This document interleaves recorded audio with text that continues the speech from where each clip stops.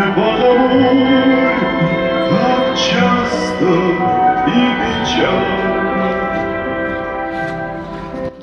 700 свечей у мемориала славы сотни жителей города. Под песню «Журавли» Муслима Магомаева выкладывают фразу «Барнаул скорбит» и фигурку летящего журавля. Журавли, олицетворяющие погибших в Великую Отечественную войну солдат, стали символом людей, погибших от рук террористов в подмосковном Крокус-Сити-Холле. Эти три дня, которые сейчас все мы переживаем, они тронули нас так, будто там погиб кто-то очень близкий человек. Такого просто быть не может, такого быть не должно.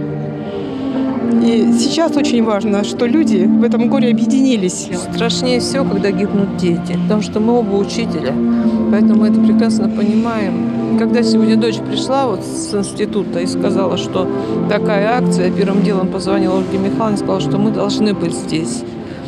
Радует, что молодежь вокруг. Ну, а смотреть эти кадры просто ну, ну, невозможно. И до сих пор включаешь и боишься, что еще будут погибшие. Напомним, вечером 22 марта в Крокус Сити Холл ворвались вооруженные люди. Они открыли огонь по охране, зрителям и подожгли здание. Число жертв увеличивается с каждым днем. К этому моменту уже 139. Чудовищная расправа потрясла всю страну. Алтайский край не остался в стороне. Что солдаты очень сложно говорить, мы сочувствуем и сопереживаем всем семьям пострадавших, всем, а, кто погиб. Очень было тяжело смотреть новости, новостную ленту. Да.